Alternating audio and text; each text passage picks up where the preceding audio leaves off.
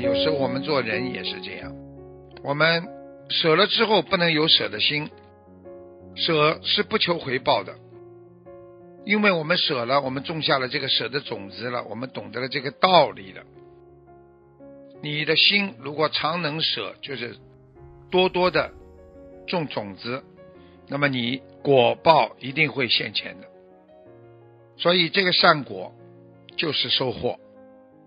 你想想看，你播种一次种子，可能你不一定马上有收获，但是你每天播种善的种子，你想想看，你会不会有收获？所以要明白道理，学佛跟播善种一样，想得到这个善果，要想得到这个丰硕的成果。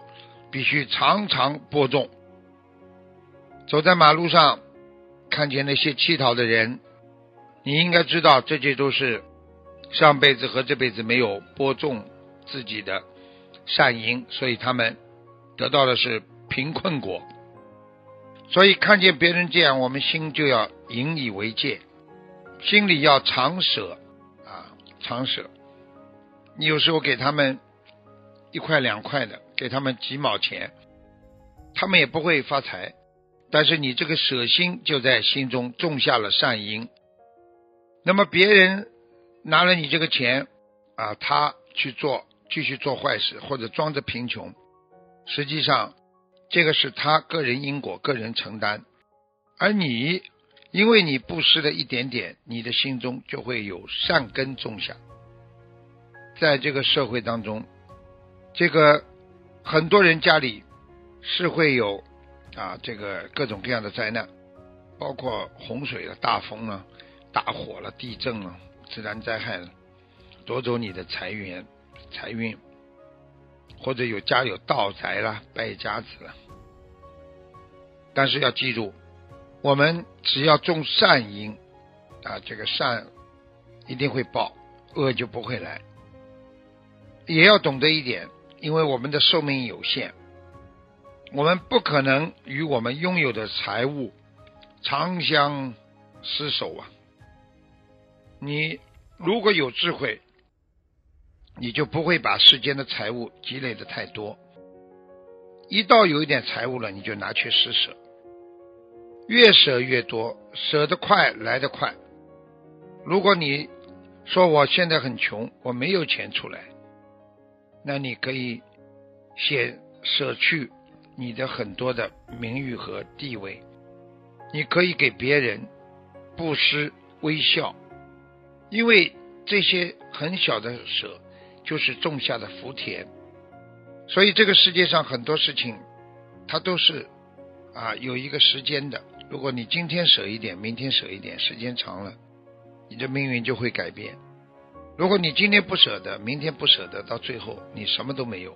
所以，我们今日之贫穷啊，其实就是因为我们过去生中不知道舍得来的。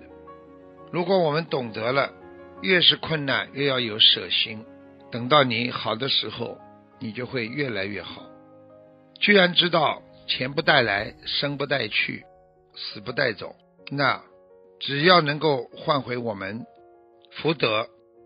换回我们命运的一种善善缘，那么我们所拥有的这笔账就是随缘而去，因为永远不会被你带走。所以在这个世界上，很多人缺乏的就是这种精神，很多人缺乏的就是懂得自己的因果，所以懂因果才能。懂得怎么样来克服自己身上的贪，懂因果才能懂得有因必有果，有果必有因啊！所以要想好好的把佛法学好，改变命运，就要懂得舍，有舍才有得，有失必有得，所以一切都是由你自己种下的因。最后给你看到的果，所以希望大家好好努力，克服自己身上的坏习惯，懂因知果啊，懂得怎么样能够让自己变得更有人间有福气，以后才能到天上去。